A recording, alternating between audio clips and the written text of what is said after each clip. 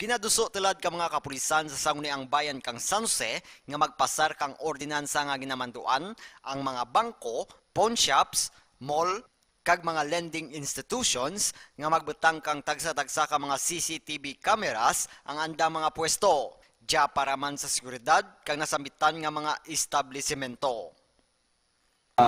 This is a nationwide program of the Philippine National Police regarding uh, the proposed installations of CCTVs and alarm devices not only in banks but to include ang ating uh, uh, business establishment, uh, pagaya ka mga malls, uh, lending institution, ag ang ating mga pawn shop. Uh, actually, ang sa uh, part ng mga pawn shop, they come to an agreement, may, they, they design the memorandum agreement between the Philippine National Police kag sa andang association in, in, in Manila